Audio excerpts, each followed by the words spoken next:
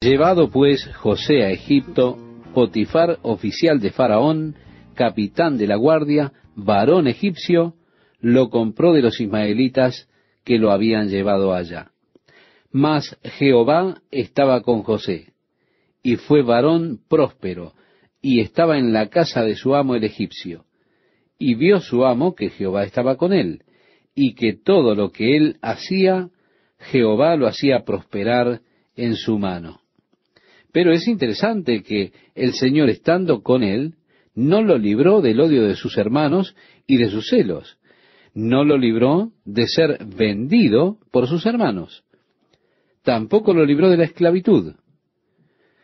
No lo libró de las falsas acusaciones, ni de la tentación, ni de la injusta prisión. Estimado oyente, ser cristiano no es ninguna clase de inmunidad para los problemas. En este mundo, dijo Jesús, tendréis aflicción.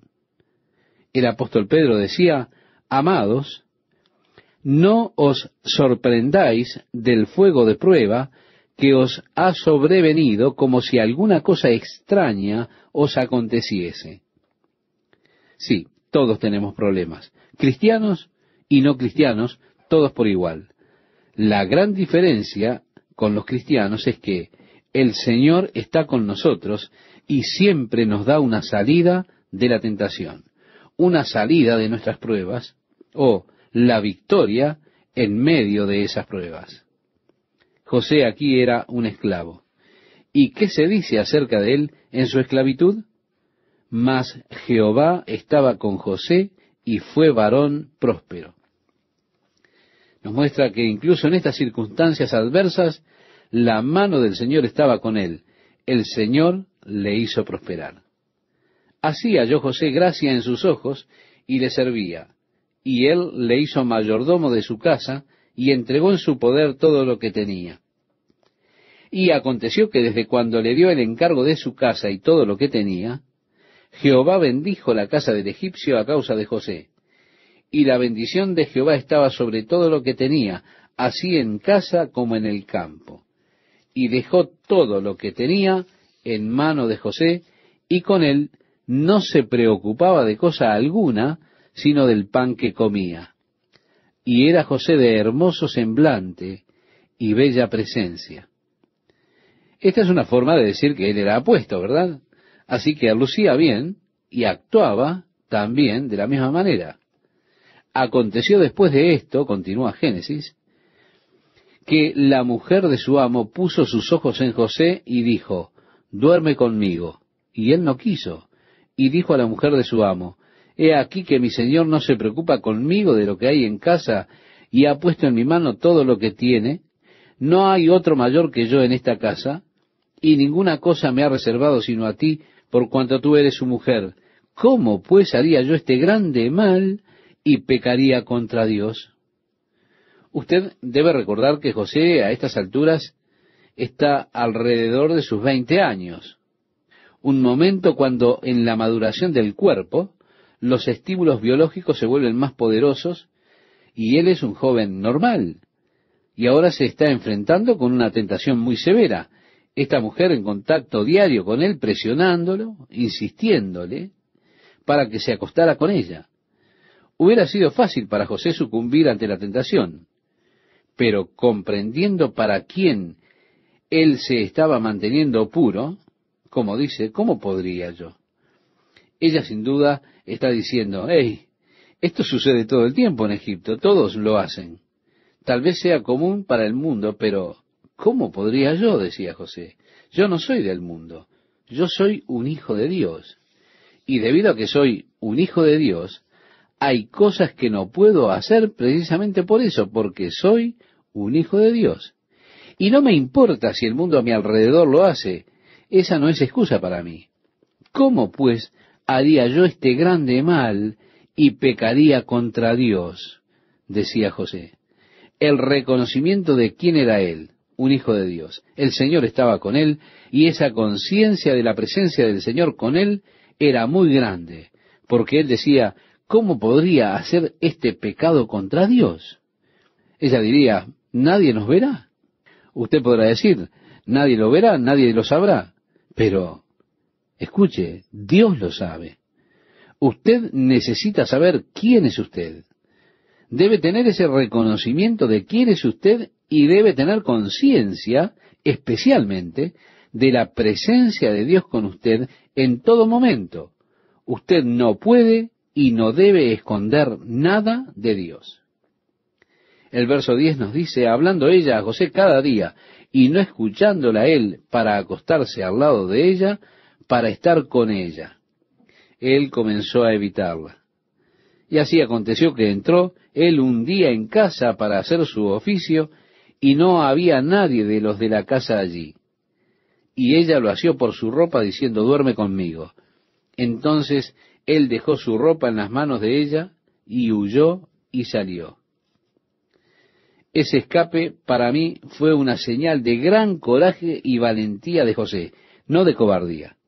¿Por qué? Porque era más difícil correr que quedarse allí. Sí, es más difícil correr de la tentación, escapar de ella, que ceder a la tentación. Se requiere mucho más coraje para huir de la tentación que para caer en ella.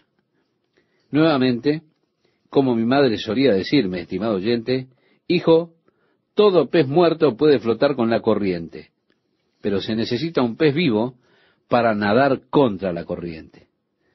Cuando la presión es cuesta abajo, es fácil deslizarse hacia abajo. Es mucho más difícil correr hacia arriba contra las presiones, contra las costumbres populares, contra los conceptos culturales que tenemos. Es mucho más difícil mantenerse firme en la rectitud y moralidad y en la pureza. Cuando toda la dirección del mundo está yendo cuesta abajo tan rápido, créame que es terriblemente difícil ir hacia arriba. Requiere mucho más fortaleza, mucho más coraje, mucho más ánimo. Y correr es a veces lo más sabio, lo más valiente que usted pueda hacer. Recuerda cómo el apóstol Pablo le decía a Timoteo, huye de las pasiones juveniles. Si usted siente la presión, si siente que ha dado un resbalón, comience a salir, corra, salga de allí tan rápido como pueda, huya del lugar de la tentación. Bueno, las personas tal vez se rían. Ellos puede que digan, mire cómo se va este gallina. Ey, eso está bien. Que ellos digan lo que quieran, pero yo me voy de aquí. Este no es un lugar para mí. Así decía el apóstol Pablo, huye de las pasiones juveniles. Y así fue que José huyó de la presencia de esta mujer.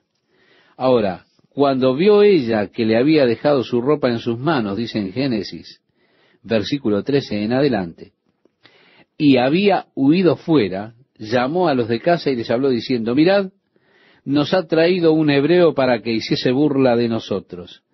Vino él a mí para dormir conmigo, y yo di grandes voces, y viendo que yo alzaba la voz y gritaba, dejó junto a mí su ropa y huyó y salió.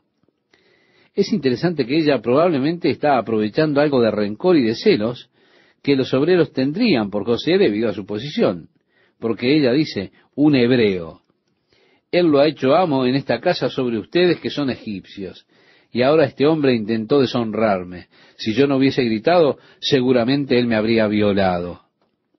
A partir del versículo 16 podemos leer, y ella puso junto a sí la ropa de José hasta que vino su señor a su casa. Entonces le habló ella las mismas palabras diciendo, el siervo hebreo que nos trajiste vino a mí para deshonrarme. Y cuando yo alcé la voz y grité, él dejó su ropa junto a mí y huyó fuera. Y sucedió que cuando oyó el amo de José las palabras que su mujer le hablaba diciendo, así me ha tratado tu siervo, se encendió su furor, y tomó su amo a José y lo puso en la cárcel, donde estaban los presos del rey, y estuvo allí en la cárcel pero Jehová estaba con José. Espera un momento. ¿Cómo puede ser? La prisión es un lugar terrible. Tú tienes acusaciones falsas. Tu familia, ellos te vendieron. Ahora esta mujer está diciendo mentiras y tú has sido sentenciado por término indeterminado a la prisión. ¿Y cómo es esto? ¿Y el Señor está contigo? Pero eso es lo que dice. Pero Jehová estaba con José. Esa es la historia de su vida. En prisión, en esclavitud, el Señor estaba con él. Ah, es glorioso saber que el Señor está conmigo en las situaciones más duras que tengo que atravesar en la vida. Cuando todos los demás están en mi contra, cuando todos los demás me han fallado, el Señor aún está conmigo. Alabado sea el Señor. Otros tal vez me abandonen y se vuelvan contra mí, pero el Señor nunca lo hará. El Señor estaba con José incluso en la prisión y le extendió su misericordia y le dio gracia en los ojos del jefe de la cárcel, y el jefe de la cárcel entregó en mano de José el cuidado de todos los presos que había en aquella prisión. Todo lo que se hacía allí, él lo hacía. No necesitaba atender el jefe de la cárcel cosa alguna de las que estaban al cuidado de José, porque Jehová estaba con José y lo que él hacía, Jehová lo prosperaba. Hemos leído desde el versículo 21 al versículo 23, estimado oyente. La mano de Dios estaba sobre su vida. Todo lo que José hacía, Dios lo bendecía. Jehová estaba con él. Es hermoso cómo Dios está con nosotros y estará con nosotros, porque Él dijo, nunca te dejaré, ni te desampararé. En el versículo 1 del capítulo 40 continúa diciendo la Biblia, aconteció después de estas cosas que el copero del rey de Egipto y el panadero delinquieron contra su señor el rey de Egipto. Y se enojó Faraón contra sus dos oficiales, contra el jefe de los coperos y contra el jefe de los panaderos. Así que estos hombres eran jefes de primera, el jefe de los coperos y el jefe de los panaderos pero de alguna forma ellos se metieron en problemas con el faraón. Tal vez fuera que el faraón descubrió un complot para matarlo. Puede ser que el copero le estuviera trayendo el pan y el que probaba la comida, al comer el pan murió. Así que él no sabía si había sido el copero que había puesto algo en el pan o si había sido el panadero. Entonces los echó a ambos en la prisión hasta descubrir de quién era la culpa. Así se haría una investigación mientras que los dos hombres irían a prisión. Y como continúa el relato bíblico, dice, y los puso en prisión en la casa del capitán de la guardia, en la cárcel donde José estaba preso. Así que fueron enviados a la misma prisión donde estaba José. Qué interesante, ¿verdad? Es llamada la prisión en la casa del capitán de la guardia. Se nos dijo anteriormente en la historia que el capitán de la guardia no era otro que Potifar. Así que pudo ser que José fuera puesto en la prisión de Potifar.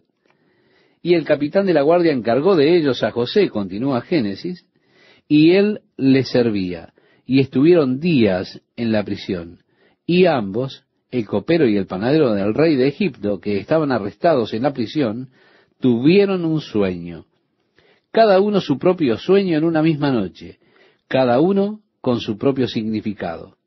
Vino a ellos José por la mañana y los miró, y he aquí que estaban tristes. José era una persona comprensiva, era perceptivo, y él preguntó a aquellos oficiales de Faraón que estaban con él en la prisión de la casa de su señor, diciendo, ¿por qué parecen hoy mal vuestros semblantes? Ellos le dijeron, hemos tenido un sueño y no hay quien lo interprete. Entonces les dijo José, ¿no son de Dios las interpretaciones? Contádmelo ahora.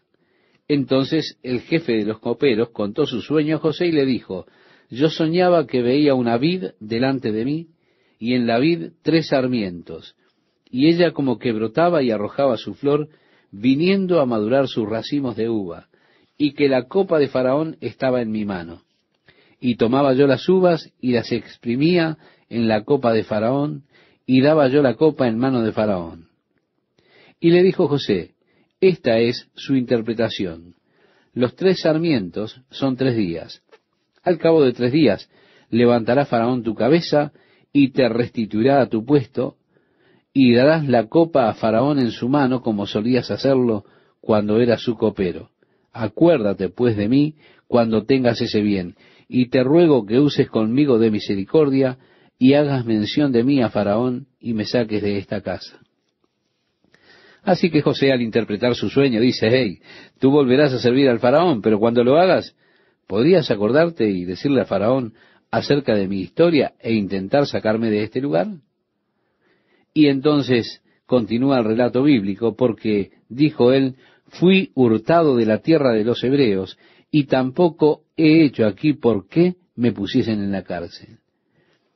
Viendo el jefe de los panaderos que había interpretado para bien, dijo a José, también yo soñé que veía tres canastillos blancos sobre mi cabeza. En el canastillo más alto había de toda clase de manjares de pastelería para Faraón, y las aves las comían del canastillo de sobre mi cabeza. Entonces respondió José y dijo, Esta es su interpretación. Los tres canastillos, tres días son.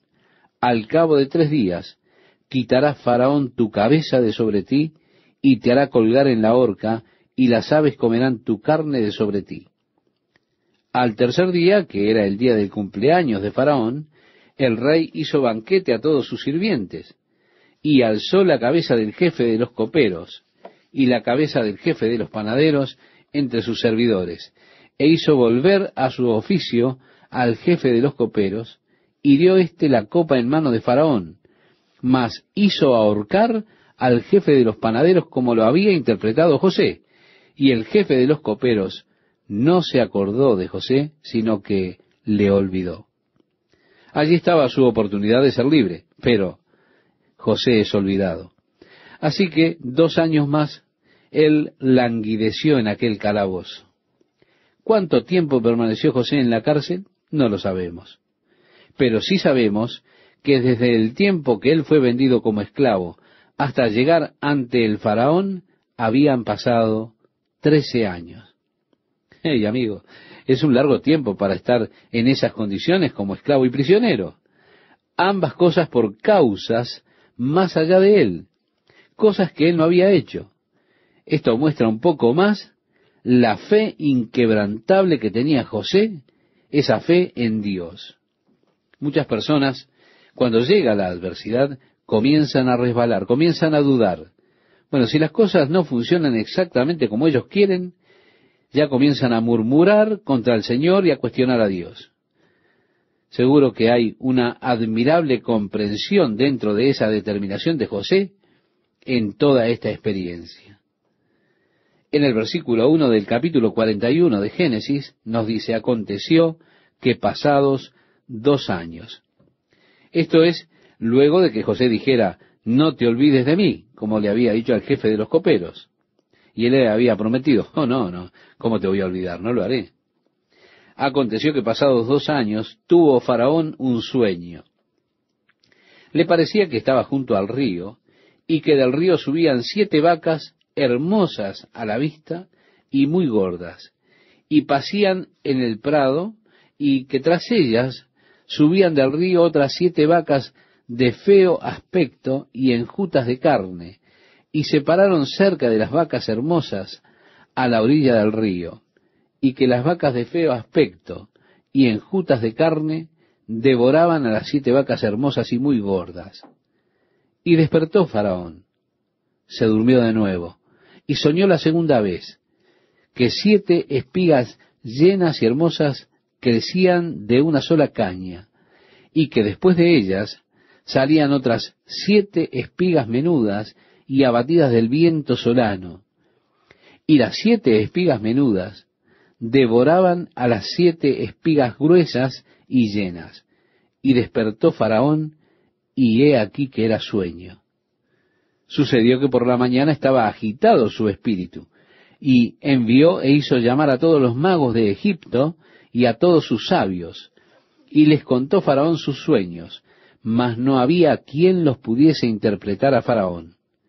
Entonces el jefe de los coperos habló a Faraón diciendo, me acuerdo hoy de mis faltas.